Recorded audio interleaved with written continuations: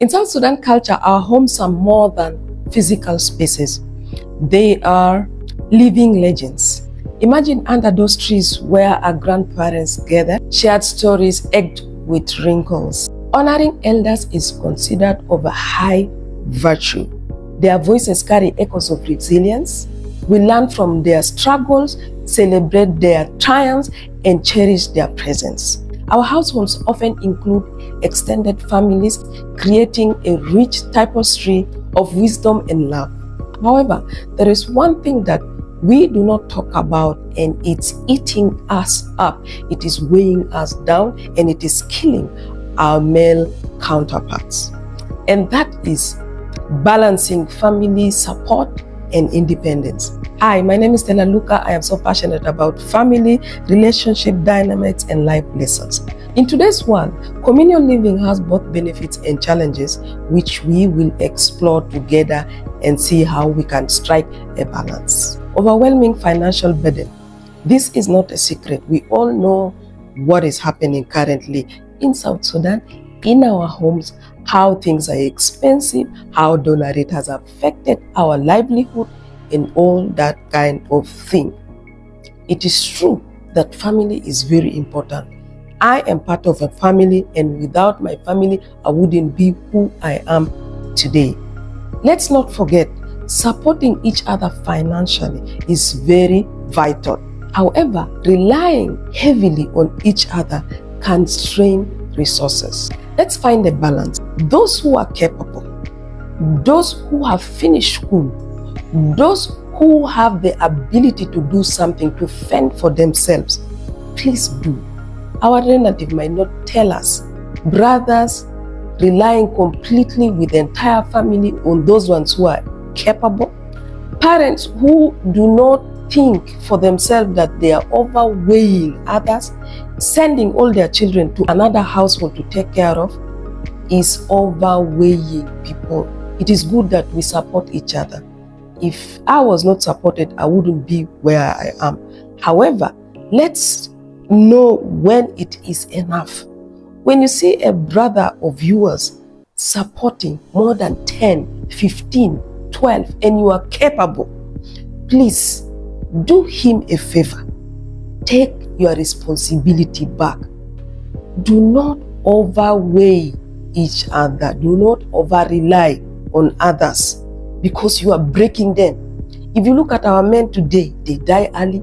There is high rate of heart attack, high blood pressure, diabetes. All that is coming because people are overburdened and they are not saying it because we value relationship.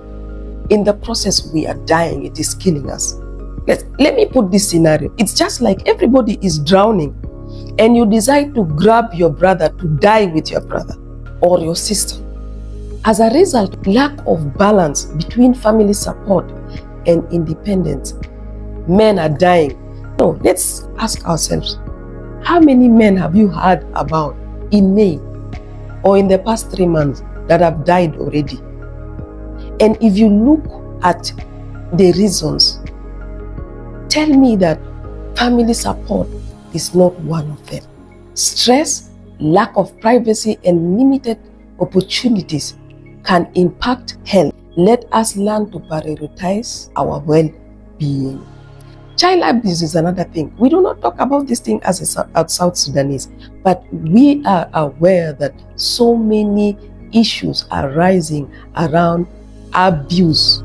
Abuse is not only maybe rape or sexual molestation, it can be physical abuse. You find that parents are already overwhelmed, so they do not have the patience. Children are suffering innocently in between big families. There will always be child abuse issues in a crowded family. Lack of peace. How many homes are having issues? Because people are overwhelmed in the house. Diverse opinions can lead to conflicts, obviously. In such a scenario, how can harmony be sustained? That's a question all of us should answer. Raising indisciplined children. In crowded households, individual attention becomes impossible. It is difficult to pay attention to individual child or children to discipline them because there are so many people, different background, different mindsets. And even because of that crowd, parents do not have time to sit down and focus on who is doing what.